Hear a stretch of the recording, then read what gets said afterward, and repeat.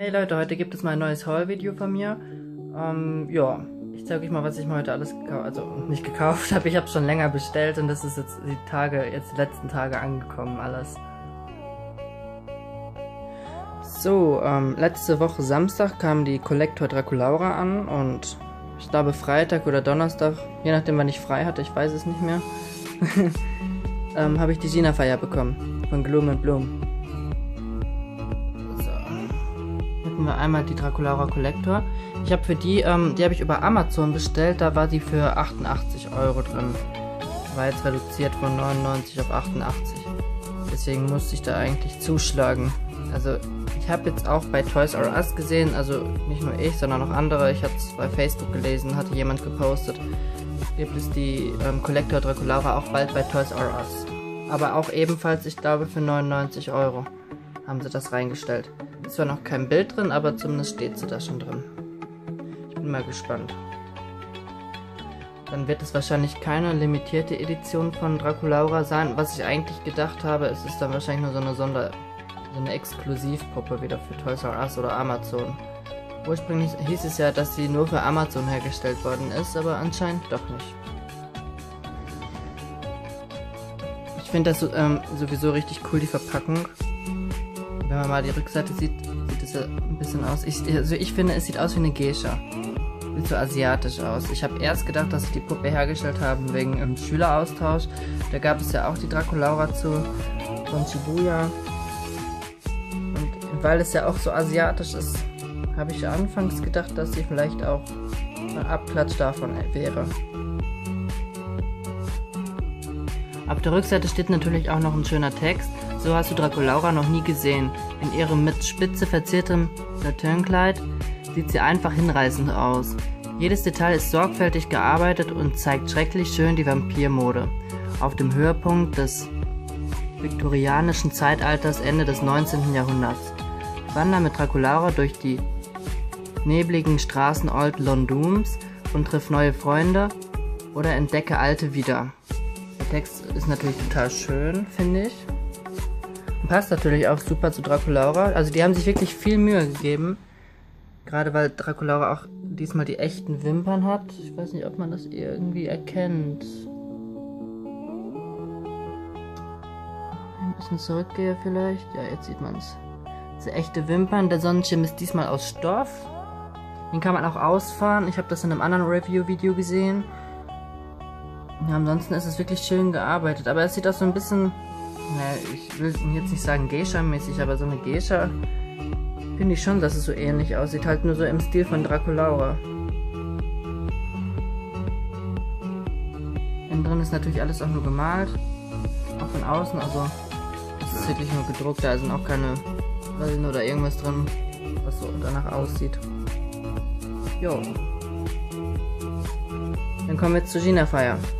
China-Fire habe ich jetzt auch von Amazon bekommen für 31 Euro ungefähr. Die war jetzt auch reduziert, aber es war jetzt auch nur kurz. Die war sonst immer bei 42, 44 Euro ungefähr bei Amazon. Ich habe es aber auch bei eBay immer nur so für diesen Preis ungefähr gesehen. Und ja, dann hatte ich sie halt für 31 gesehen, wie gut, dass ich sie mir dann bestellt hatte. Denn jetzt kostet sie wieder 42 Euro. Finde ich auch echt cool, auch mit der Locke da. Ich packe sie auch nicht aus. Ich finde die Verpackung so schön, deswegen. Ich drehe das mal ein bisschen, dann sieht man es vielleicht besser.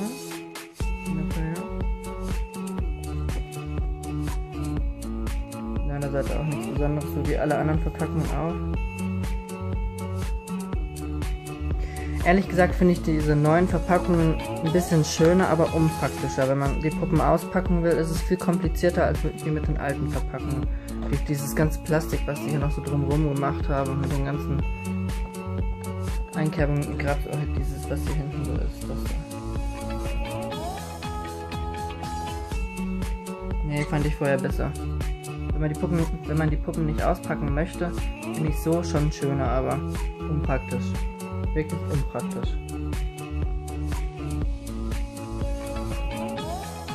Und das war das, das war noch nicht das einzige, was ich gemacht habe. Ich habe letzte Woche, wo ich frei hatte und Langeweile gehabt habe, habe ich ähm, was gebastelt. Und das zeige ich euch jetzt auch einfach mal.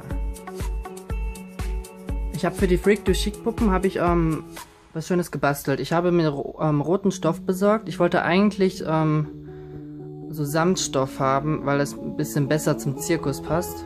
Aber das gab es nicht in Rot.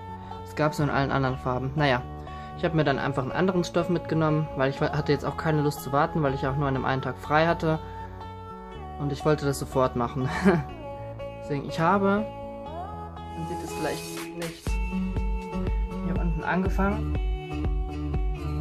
Ich habe das wirklich mit Nägeln nur so an die Decke gekloppt. und dann ähm, hinten an die Wand auch mit Nägeln befestigt und der Stoff hängt hinten einfach nur runter. An den Seiten habe ich danach die Vorhänge gemacht. Auch so um die Ecke, auch mit Nägeln oben an der Decke. Ein goldenes Gummiband dran.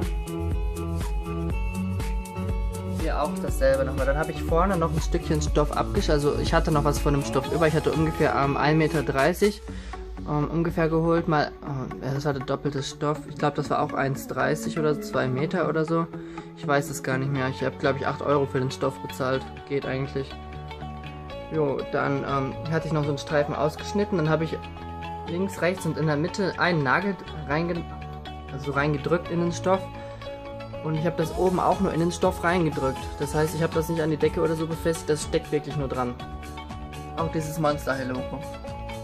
Das habe ich von irgendeiner Verpackung ausgeschnitten. Also ich hatte es noch gehabt, ich habe es irgendwo liegen gehabt. Da habe ich ebenfalls nur Nägel durchgesteckt, links und rechts.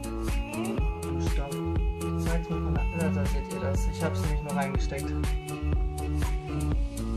Ich finde, das passt eigentlich ganz gut. Ich hole mir dann jetzt noch die nächsten Tage das ähm, Set mit Rochelle. Da sind ja dann die ganzen Zirkus-Accessoires noch mit dabei und dann sieht das vielleicht nochmal ganz anders aus. Hier hatte ich noch ein bisschen Stoff über. Da habe ich mir einfach einen Karton genommen, aber ich glaube, man sollte einen stabilen Karton nehmen. Sonst kann man da nur eine Puppe draufstellen. da habe ich nur den Stoff drum gewickelt. Ich habe das nicht befestigt. Und das, das hatte ich einfach noch über gehabt. Ich dachte mal, vielleicht sieht das ganz schön aus, wenn das davor ist. Anis war, ich habe hier einfach in den Stoff ein Loch reingemacht und von der Seite und oben in der Decke ist ein Haken drin. Da habe ich sie aufgehangen bisschen schöner aus. Also ich finde es cool. Mit der Gina Fire hier hinten. Mit Toralei, wenn das Set da ist, da ist ja auch so ein Seil dabei. Da möchte ich dann die Toralei auch von der Decke ähm, aufhängen, dass, dass es so aussieht, als wenn sie über das Seil läuft. Also ich bin mal gespannt, ob ich das hinbekomme, aber ich mache dazu auch nochmal ein Video. Frankenstein, Gulyup. Apropos Gulyup, die gibt es jetzt neuerdings auch im Real. Für, ich glaube, 39 Euro habe ich sie heute gesehen. Und die Emenita gibt es ebenfalls schon bei ähm, Real. Für 31 Euro habe ich auch ebenfalls heute gesehen. Und die meisten Bujork-Puppen, also ich habe eigentlich alle Bujork-Puppen da stehen sehen. Außer die Astronova, die nicht. Aber sonst alle. Ungefähr. Ja, das war's dann auch erstmal. Ich hoffe, euch hat mein Video gut gefallen und ähm, vielleicht habe ich euch so eine kleine Anregung gegeben, was man vielleicht basteln könnte den Hintergrund von vielleicht manchen Puppen zu verschönern. Ich fand ähm, Freak to Chic ist eigentlich eine geile Serie, finde ich, auch von den Puppen her, die sind richtig schön geworden, finde ich. Und ähm, ich fand die Fotos bei Facebook immer schon so geil, weil die das ja auch mal so mit den ähm, Zirkus-Accessoires gemacht haben, mit einem extra Zirkuszelt und Seilen und keine Ahnung was alles. Ja, und ich dachte mir einfach, ja, versuchst du das mal. Und ist mir eigentlich auch relativ gut gelungen, finde ich. Also ich bin stolz drauf. Ihr könnt ja mal drunter schreiben, was ihr davon hält oder ob ihr auch was zu Hause gebastelt habt für manche Puppen. Ich habe ja auch schon viel gesehen bei Facebook, ähm, haben viele ja auch schon mal was gepostet. Die holen sich dann auch schon mal Regale, so diese quadratischen Regale von Ikea. Da basteln sie ja auch schon mal irgendwelche Zimmer für die Puppen rein. Weiß das ich, in, irgendwas in Blau für Frankenstein oder in Pink für Draculaura oder so. Auf jeden Fall liked es gerne. Wenn ihr mich noch nicht abonniert habt, könnt ihr mich hier unten kostenlos abonnieren. Ansonsten bis zum nächsten Mal dann.